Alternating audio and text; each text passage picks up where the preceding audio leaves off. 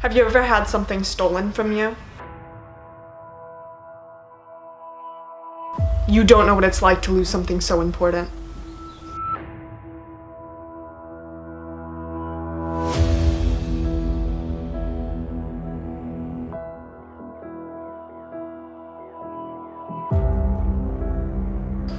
I worked hard on that sandwich. I was starving!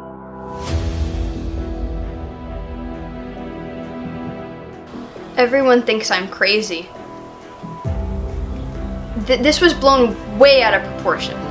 Sandwich. It was a sandwich. It was two pieces of bread, a tomato, and lettuce. A sandwich. but it was it represented our friendship. She is crazy. I can't look at her the same way again. It was years ago, and she will not let it go. I'm a different person now. No, because you don't care.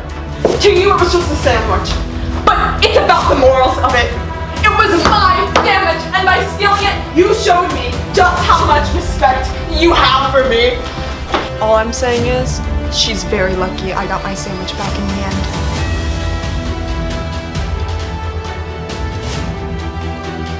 end. Making a sandwich is an art. I, no more cameras. This is ridiculous. No more I, cameras. I, a lifestyle. I poured my heart and soul into it.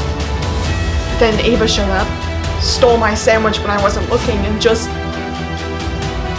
I'm sorry. She stole it from right under my nose. So, yes, I think I was justified in challenging her to a duel. Yes. It was gruesome. You know someone for that many years, and they just go right for the jugular. She choked me on the street and left me for dead over a sandwich. I just want answers! I want justice! I think I deserve some closure. I can't even make a sandwich now. You know, I go I go to get the knife and the bread and like spread it on and like I start shaking. Everything is coming to a head. Things will never be the same.